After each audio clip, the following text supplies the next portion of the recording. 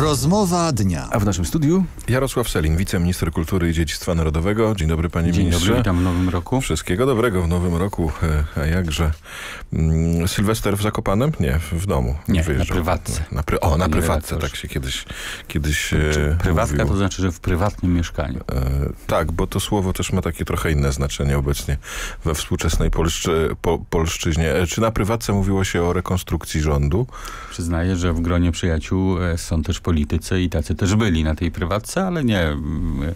Raczej postanowiliśmy się do, dobrze bawić, a polityką się nadmiernie nie zamęczać. Bo tak patrzę na, na tytuły w internecie, na paski w telewizjach, e, że zbliża się rekonstrukcja. No i tak się zbliża i, i, i zbliża. Premier Mateusz Morawiecki wczoraj już mówił w wywiadzie telewizyjnym, że już ty- w ciągu tygodni po święcie Trzech Króli poznamy szczegóły. Czyli co, jeszcze, jeszcze poczekamy trochę.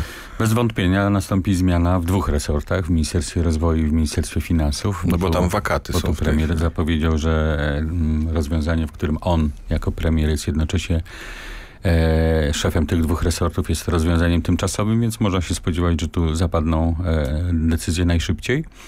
Natomiast co do innych decyzji, to premier jest premierem zaledwie od miesiąca. To nie jest długi czas, żeby żeby, żeby podjąć decyzję o zadaniach związanych z e, kolejnymi, z, z, dla poszczególnych resortów na, na kolejne dwa lata i, i dobrać do tego właściwe osoby, więc y, myślę, że tego czasu premier troszkę potrzebuje. No patrzę na kalendarz zajęć premiera Morawieckiego. e, Rozmowa z Wiktorem Orbanem, wizyta w Brukseli w, w najbliższych dniach. Wygląda na to, że polityka zagraniczna ważniejsza jest w tej chwili niż rekonstrukcja rządu.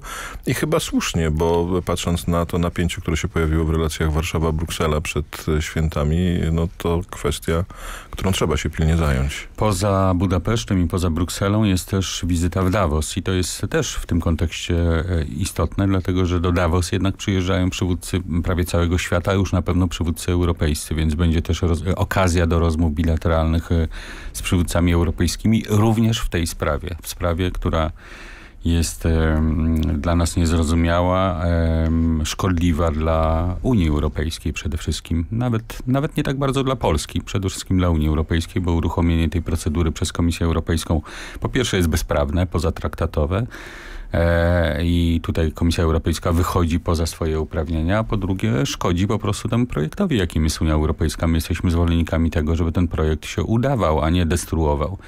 I, I decyzje, które podejmują e, tacy politycy jak Timmermans, Juncker, e, Verhofstadt czy Tusk e, niszczą Unię Europejską. No niektórzy mówią, że być może kiedyś w podręcznikach historii ten rok zostanie zapisany z dwóch powodów. Brexitu, czyli wyjścia Wielkiej Brytanii z, z Unii, a także bezpodstawnego wszczęcia procedury wobec Polski jako rok początku rozpadu Unii Europejskiej. Jarosław Gowin, wicepremier, mówił wprost, że nie chodzi o żadne zarzuty związane z wymiarem sprawiedliwości w Polsce i jego reformą, tylko o to, jak Unia Europejska ma w przyszłości wyglądać. Czy to ma być super państwo, w którym Mhm. wybrani dyktują wszystkim, jak ma to wyglądać w, wspólnymi ministerstwami, wspólnym systemem bankowym, podatkowym. Wydaje mi się, że to jest rzeczywiście najgrubszy podział e, i generalnie podział e, wygląda dzisiaj tak pod względem politycznym czy ideowym, że elity lewicowo-liberalne zmierzają właśnie do takiego tworzenia takiego superpaństwa, bo zauważyły, że pod względem ideowym przechwyciły tak naprawdę e, mm, dominację w w strukturach Unii Europejskiej i chcą realizować swój program ideowy w oparciu o, o takie superpaństwo. Tymczasem umawialiśmy się na, e, na coś innego i wchodziliśmy do Unii innej. E, Umawialiśmy się na to, że to będzie organizacja międzynarodowa równych, suwerennych państw, równo traktowanych, w których jeżeli ktoś będzie miał ochotę coś dyscyplinować, to, to, to wszystkie państwa będą równie traktowane, a widzimy, że tak nie jest, że jednak e, Polska i Węgry ze względu na to, że tutaj wyłoniona została władza, która pod względem ideowo-politycznym bardzo się tym dominującym elitom na Zachodzie nie podoba, są atakowane niewspółmiernie w, e, w- w porównaniu z krajami, które na przykład mają notoryczne problemy z deficytem budżetowym, z pomocą publiczną, z łamaniem solidarności energetycznej, e, narzucaniem e, wszystkim innym jakiejś polityki imigracyjnej itd. itd. I tutaj się e, tych państw nie dyscyplinuje. Są tacy w Polsce, którzy chcieliby Polskę do tego super państwa, a w każdym razie do strefy euro jak najszybciej zapisać. Na pierwszej stronie Rzeczpospolitej dziś taki taki list, apel do premiera Morawieckiego, czas na euro, albo będziemy w strefie euro, albo w strefie wpływów Rosji. Pod tym listem otwartym podpisali się m.in. Marek Belka, Henryka Bochniarz, Andrzej Bratkowski, Dariusz Filar, Stanisław Gomułka, Marek Goliszewski, Jerzy Hausner. No długo jeszcze mógłbym e, wymieniać. E, a my, a my jednak podkreślamy, że cały czas e, warto obserwować i życzyć oczywiście państwom strefy euro uzdrowienia sytuacji, bo ona przecież zdrowa nie jest. Jest kryzys w strefie euro, poważny który najbardziej taki radykalny wymiar przybrał w kryzysie państwa greckiego, ale też z kłopotami Włoch czy Hiszpanii i w ogóle tym podziałem na północ i południe, jeśli chodzi o strefę, strefę euro w Europie. I dopóki ta sytuacja się nie uzdrowi, to, to lepiej o tym e, nie mówmy i e, do tego nie zmierzajmy. No, do, do, do zainfekowanego czy chorego domu się nie wchodzi, tylko czeka się, aż tam e, choroba zostanie jakoś wyeliminowana, sytuacja naprawiona i wtedy można ewentualnie to rozważać. Wypada wiceministrowi w polemikę z aktorką wchodzić? Tak pytam, bo dzisiaj na pierwszej stronie Newsweeka ciąg dalszych historii, która zaczęła się tutaj, w studiu Sygnałów Dnia, kiedy po, zaraz po świętach Bożego Narodzenia rozmawiałem z ministrem Błaszczakiem. On użył takiego sformułowania, że mógłby powiedzieć, że w momencie podpisania przez prezydenta Dudę ustaw reformujących wymiar sprawiedliwości skończył się w Polsce komunizm, na co bardzo ostro odpowiedziała Joanna Szczepkowska najpierw na Facebooku, wyzywając ministra od policyjnych piesków, a dzisiaj jest bohaterką Newsweeka i wraca komunizm. To wy przywracacie komunizm w Polsce i wrzucacie w Polskę w ramiona Rosji. E, to są słowa Joanny Szczepkowskiej e, z najnowszego wydania tego tygodnika. Ja czytam regularnie felietony pani Szczepkowskiej chyba w Rzeczpospolitej albo w plusie i minusie, takim dodatku do, do Rzeczpospolitej i sobie cenię taką też odwagę, czasami w wyrażaniu różnych sądów, czasami nawet po, pod prąd e, dominującym trendom we własnym środowisku, z, który, z którego się wywodzi. Ale tu uważam, że ta wypowiedź, najdelikatniej mówiąc, jest mocno nieprzemyślana po prostu. A Koronę Królowej zdążył pan obejrzeć? Pierwszy Nie, ale mam zamiar obejrzeć, bo się cieszę, że telewizja publiczna wraca do wielkiej tradycji tworzenia e, seriali historycznych i to tych sięgających w głąb naszej historii, bo oczywiście seriali dotyczących II wojny światowej trochę było. E, w ostatnich latach i dobrze, ale, ale tych, tej, tych opowieści z głębszej naszej historii raczej nie było i, i dobrze, że taką opowieść mamy, zwłaszcza z tak fascynującej epoki, jaką, jak, jakim jest XIV wiek. E, za dwa lata będziemy, tak, za dwa lata będziemy obchodzić 700-lecie e, koronacji Władysława Okietka, takie już trwałe odnowienie królestwa tak naprawdę, bo koronacja Przemysła II okazała się niestety krótkim epizodem ale trwałe odnowienie królestwa i potem trwanie tego królestwa przez ponad 400 lat, to, było, to, to się zaczęło od 1320 roku właśnie. Wchodzimy w, w rok obchodów stulecia odzyskania niepodległości. Tych imprez będzie sporo.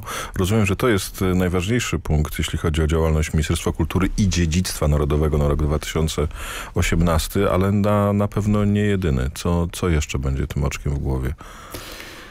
No na pewno będziemy mm, starali się cały czas y, utrzymać y, wysokie finansowanie kultury, bo udało nam się wreszcie osiągnąć ten, przekroczyć nawet ten próg 1% PKB przeznaczone, przeznaczanego na kulturę i warto to, warto to utrzymać. Będziemy to, to czynić. E, na pewno w, e, przeprowadzimy w tym roku ustawę o zachętach w produkcji audiowizualnej. To jest bardzo ważne, bo może się okazać, że e, w produkcji filmowej w Polsce jest w obiegu drugi, drugi taki pieniądz, jakim dysponuje Polski Instytut Czy to jest ta ustawa, o której kiedyś mówił Mateusz Morawiecki jeszcze na początku tej kadencji, że chciałby doprowadzić do takich zachęt dla zagranicznych inwestorów, jak są w innych krajach na Węgrzech tak, na tak, przykład? Bo... Czyli tam chodziło o zwrot części podatku. Dokładnie. Chodzi o to, że właściwie dzisiaj produkcja filmu to jest Tā kā rok, dwa, trzy funkcjonująca mała fabryka i ważne, gdzie ona się ulokuje, gdzie ona po prostu przyjedzie, gdzie zacznie produkować swój towar. No Czechy, Węgry i Słowacja bardzo mocno w ostatnich 15-20 latach z tego korzystały. Ostatnio także Bułgaria i Rumunia również doszlusowały do tego Dlatego, grona. że takie ustawy o zachętach mają, a my mamy wspaniałe plenery i wspaniałe miejsca do kręcenia filmów. E, e, świat kinematografii się interesuje Polską, ale zawsze pyta, ale czy są zachęty? W innych krajach są, u was nie ma, więc jedziemy do innego kraju. Trzeba to wreszcie wreszcie zrobić, bo naprawdę polskie góry, polskie lasy, polskie zamki, pałace to są wspaniałe miejsca, e, bardzo przyciągające filmowców, ale trzeba te zachęty mieć, żeby oni naprawdę tu przybyli i tutaj produkowali. A co to znaczy, że e, oznacza, że produkują? Nie tylko to, że pokazują kawałek Polski w swoich wielkich często filmach, ale też, że odprowadzają tutaj podatki, że tutaj No, podwykonawców zatrudniają. Pol, Polacy mają miejsce hotele, pracy catering, polscy, no, ale i restauracje aktorzy, i tak dalej. i, i, i, ludzie pracujący nad scenografią i tak dalej. A jeśli chodzi o muzea, bo, bo tak, rozmawiałem w tym studiu nieraz z Robertem Kostro, e, dyrektorem Muzeum Historii Polski. Trzymamy kciuki za to, żeby rzeczywiście już można było coś obejrzeć w setną rocznicę e, odzyskania niepodległości, czyli w listopadzie 2018 roku, ale w ostatnich tygodniach e, też dużo dobrych, ważnych informacji pojawiło się, jeśli chodzi o inne muzea. Zakup w Lublinie budynku na Muzeum Kresów Wschodnich, e, pieniądze na Muzeum Powstania Wielkopolskiego. Tych inicjatyw jest zresztą dużo więcej. Kiedy one się zamienią już w działające e, placówki? Mówimy o kwestii roku, dwóch lat. Jak ten harmonogram wygląda? Uważam, że trwałym, e, trwałą pamiątką po obchodach stulecia odzyskania niepodległości, a to stulecie będziemy obchodzić parę lat, bo program rządowy Niepodległa jest obliczony do roku 2021, będzie właśnie otw- otwieranie instytucji, które się będą już na trwałe polską polityką historyczną zajmować w różnych dziedzinach, tak? I to, i, i to nie tylko to Muzeum Historii Polskiej, które pan wspomniał, o którym pan wspomniał, ale też na przykład dedykowane dwóm najważniejszym Polakom w tysiącletniej naszej historii, bo zawsze Polacy od dwudziestu paru lat wskazują, że najważniejszym Polakiem w tysiącletniej historii jest Jan Paweł II, a na drugim miejscu jest Józef Piłsudski, a obaj nie mają swoich muzeów w Polsce i takie muzea dopiero powstają, budują się i będą. I to już wkrótce. I to Ale w też- już w tym roku będzie działało? jest, jest taka szansa, być może to się przesunie na rok 19, ale jest taka szansa, że, że w 18 roku to Muzeum w Solejówku już będzie. Ale też właśnie to, co pan wspomniał, e, Muzeum Ziem Wschodnich Dawnej Rzeczpospolitej w Lublinie, Muzeum Pamięci Sybiru w Białymstoku, Muzeum Żołnierzy Wyklętych w Ostrołęce i tutaj na Rakowieckiej w Warszawie Żołnierzy Wyklętych i Więźniów e, Politycznych PRL-u, Muzeum Powstania Wielkopolskiego. Czyli rok stulecia odzyskania Także te, te, te instytucje i... będą trwale już na polską politykę historyczną pracować. I lata muzeów e, przed nami, o czym mówił Jarosław Selin, wiceminister kultury i dziedzictwa narodowego, gość sygnałów dnia w Radiowej 1. Dziękuję Dobrego roku życzę wszystkim słuchaczom. Dziękujemy i nawzajem. 27 po 7. Była to rozmowa dnia.